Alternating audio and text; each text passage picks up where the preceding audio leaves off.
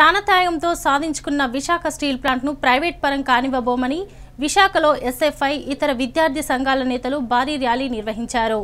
మద్దిలపాలెం నుంచి పలు ప్రాంతాల మీదుగా సాగిన ఈ ర్యాలీలో అధిక సంఖ్యలో పాల్గొన్న విద్యార్థులు కేంద్ర ప్రభుత్వ తీరును నిరసిస్తూ నినాదాలు చేశారు.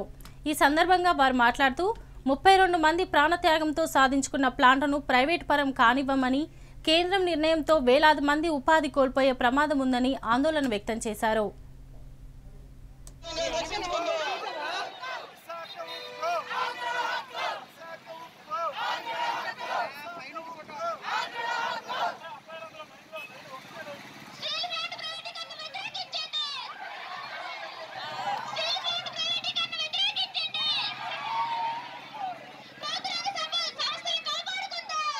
కాపాడుకుందాం కాపాడుకుందాం.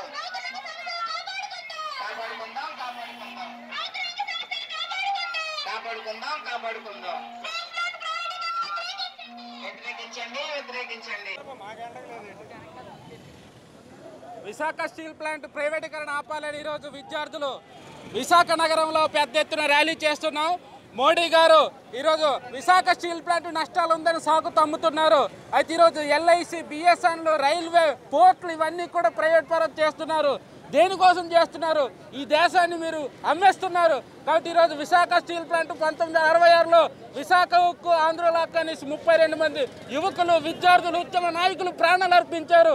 అదే స్ఫూర్తితో ఈరోజు విశాఖ స్టీల్ ప్లాంట్ ప్రైవేటీకరణ చేస్తా ఊరుకునేది లేదు. పెద్ద ఎత్తున రాష్ట్ర వ్యాప్తంగా విద్యార్థి లోకం పోరాటం చేస్తుంది. ప్రాణాలైన ఇస్తాం స్టీల్ ప్లాంట్ని ప్రైవేటీకరణ ఆపు తీర్థమనేసి Visakhapatnam if you like this video please like it share it and for more videos please subscribe to our channel